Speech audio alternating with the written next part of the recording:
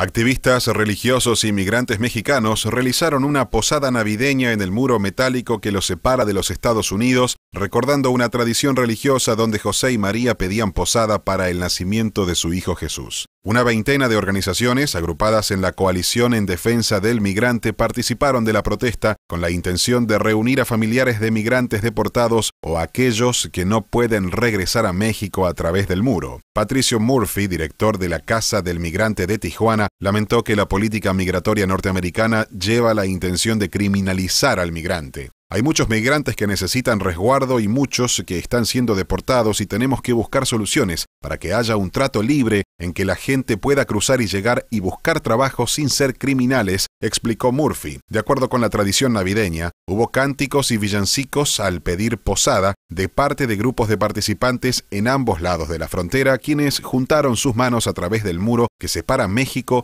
de los Estados Unidos. Y estamos haciendo así los dos lados de la frontera para recordar que hay muchos migrantes que necesitan posada y por ah, una razón u otra no puede cruzar legalmente.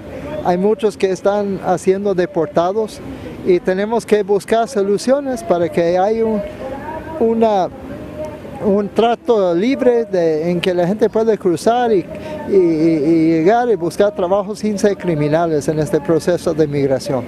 Y de ahí caí a un lugar que le llaman este, Veracruz.